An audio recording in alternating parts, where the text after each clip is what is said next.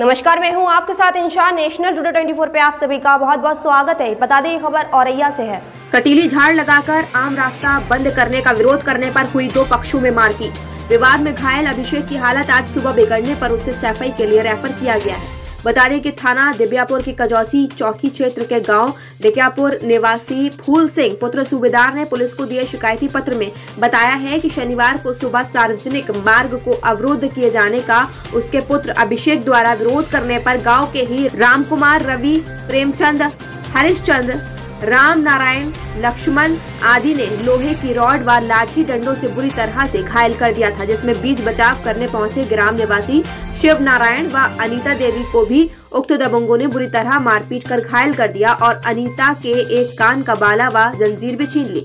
सूचना पर पुलिस पहुँची व चौकी पुलिस ने घायलों को एंबुलेंस से दिव्यापुर स्वास्थ्य केंद्र भिजवाया था, जहाँ से घायलों को शौशैया अस्पताल, चिचौली रेफर किया गया था।